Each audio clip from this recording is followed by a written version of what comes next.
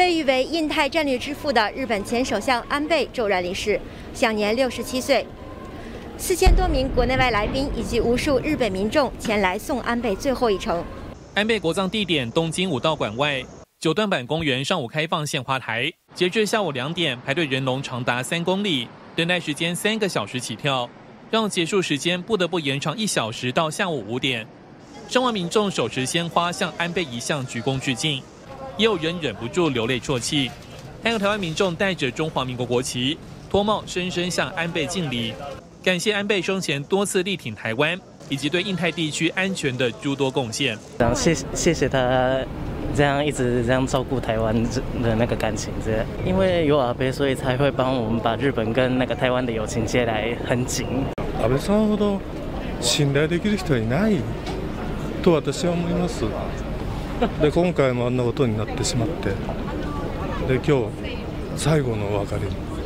来ました。安倍今年七月不幸遇刺，享年六十七岁，为历史上任期最久的日本首相。生前多次展现对台湾的关心与支持，并喊出“台湾有事，日本有事，就是日美同盟有事”，以及自由开放印太区域等前瞻战略理念。